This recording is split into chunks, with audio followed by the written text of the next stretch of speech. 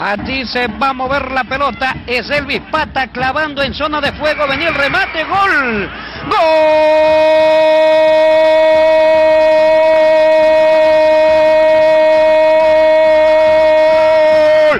De la Católica.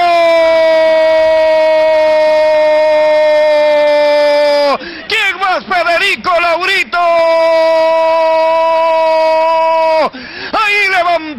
Las manos al cielo. Alfredo Laurito, sí señoras y señores.